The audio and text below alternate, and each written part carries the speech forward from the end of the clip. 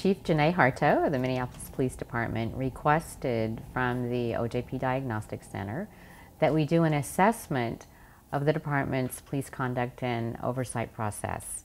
And she was particularly interested in learning about best practices related to early intervention systems and how to um, really increase police accountability in the department. There were three uh, priority activities related to this engagement. The first was a data analysis examining complaints against Minneapolis uh, officers over six years from 2008 to 2013. The second uh, activity was a gap analysis of the police conduct, oversight, and accountability process that really involved um, coming on site and interviewing stakeholders. And we interviewed a broad cross section of people here in the community, 45 stakeholders in total. And the third activity um, involved bringing in a, a, national expert in early intervention systems. And she conducted a review of early intervention systems here in MPD, as well as looked at and reviewed best practices in the literature, the research, as well as in departments around the country that have implemented successful early intervention systems. Okay. What we found was um, this department has a number of strengths.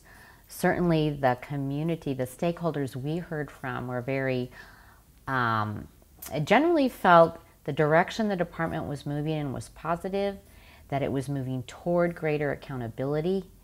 Um, but that left some room for change.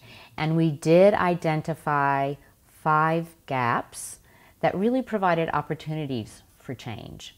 So we um, identified those gaps, you know, the lack of a really fully functioning prevention oriented early intervention system in MPD, the need to strengthen coaching um, as a proactive intervention um, also, the need to increase transparency in the police conduct and oversight process.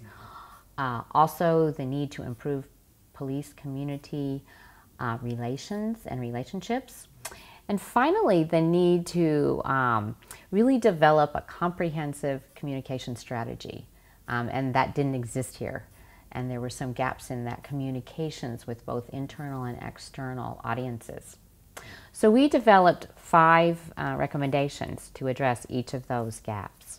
Whereas uh, other departments are sometimes reactive and sometimes have to be mandated what to do, this department is moving ahead very proactively to voluntarily say we're going to make changes as long as those changes are um, based on best practices and what the research says are um, or what the research says works.